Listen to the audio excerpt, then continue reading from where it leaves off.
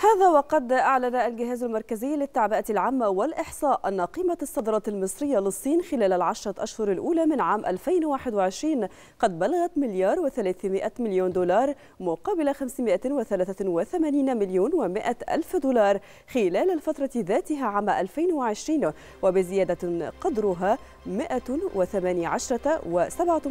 في المئة.